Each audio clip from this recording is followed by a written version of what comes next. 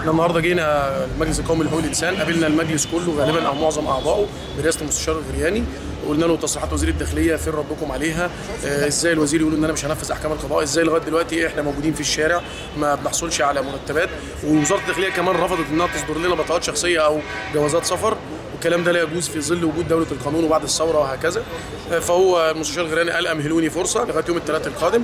أتواصل مع وزارة آه، الدولة للشؤون القانونية. وأتواصل مع وزارة الداخلية وأرد عليكم في اللي هيوصل يعني اللي هيوصلني من رد منهم على هذا الأمر يعني.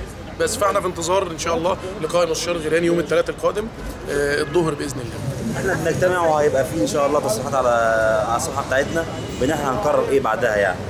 بعد بعد أسبوع إن شاء الله يوم الثلاث اللي جاي إن شاء الله هنيجي للاستاذ المستشار نعرف رده إيه إن هو هيتواصل مع وزارة الداخلية ووزارة الدولة للشؤون القانونية اللي رئيسها المستشار حاتم مجاد